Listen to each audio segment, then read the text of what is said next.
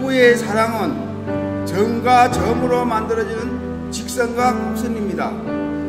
남편이 직선이라면 아내는 곡선입니다.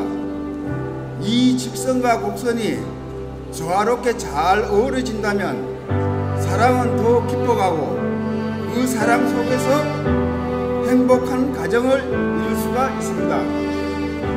서로 존경하고 배려한다면 행복은 멀리 있지 않다고 생각합니다.